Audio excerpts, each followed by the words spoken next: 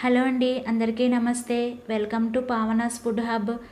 ఈరోజు వీడియోలో నేను చేయబోతున్న రెసిపీ టమాటా ములక్కాడ కర్రీ. టేస్ట్ మాత్రం చాలా బాగుంటుందండి. దీని వేడివేడి అన్నంలో కలుపుకుని తింటే సూపర్ ఉంటుంది. ఈ కర్రీ చపాతీ రోటీ వాటిల్లో కూడా బాగుంటుందండి. మసాలా కూడా చాలా తక్కువ వేసుకుని చేసుకోవచ్చు. సింపుల్ ప్రాసెస్లో ఎలా చేసుకోవాలో చూసేద్దాం. ముందుగా ఆరేడు టమాటాలు రెండు ములక్కాలు తీసుకుని కట్ చేసుకోవాలండి. ములక్కాడ రెండు ఇంచుల వరకు కట్ చేసుకుని పక్కన పెట్టుకోవాలి.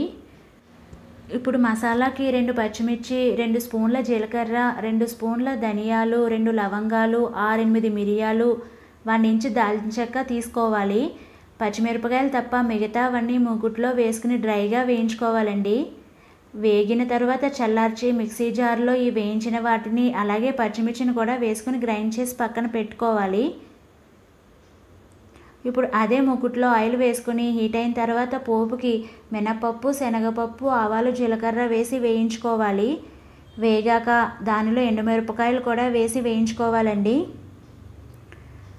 అది వేగాక తరిగిన సన్నని ఉల్లిపాయ ముక్కలు పచ్చిమిరపకాయ ముక్కలు వేసుకుని వేయించుకోవాలి.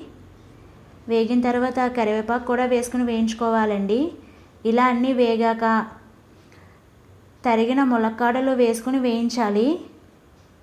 దీనిలో వన్ స్పూన్ ఎర్రకారం రుచికి సరిపడా సాల్ట్ వేసుకుని వేయించుకోవాలి.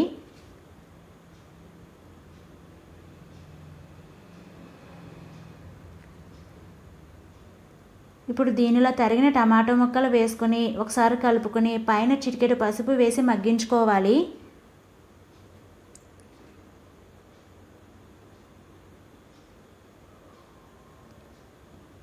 ఇలా కొంచెం దగ్గర పడిన తర్వాత పైన గ్రైండ్ చేసుకున్న మసాలా గ్రేవీ వేసుకోవాలి. వేసుకున్నాక ఒకసారి కలుపుకొని కాసేపు మగ్గనివ్వాలండి.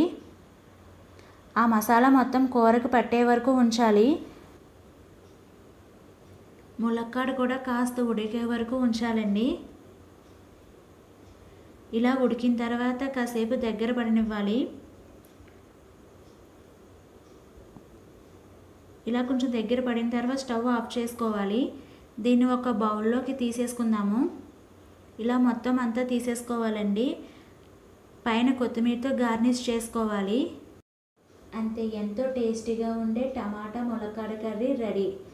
దీనిని అన్నంలో చపాతీ వాటిల్లో కలిపి తీసుకుంటే టేస్ట్ సూపర్ ఉంటుందండి. ఈ వీడియో కనుక మీకు నచ్చినట్లయితే లైక్ చేసి సబ్స్క్రైబ్ చేయండి.